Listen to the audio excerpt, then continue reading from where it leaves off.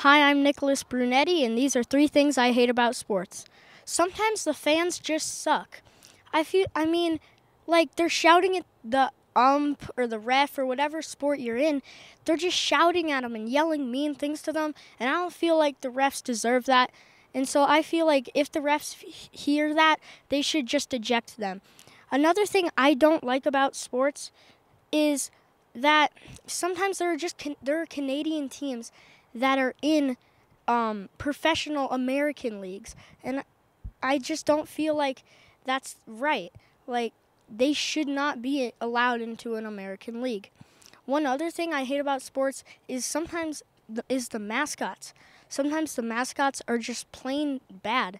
Like the mascot just it doesn't look good. It just what they say is just not cool or sometimes even the dances just are weird. Um, I'm Nicholas Brunetti, and those are three things I don't like about sports.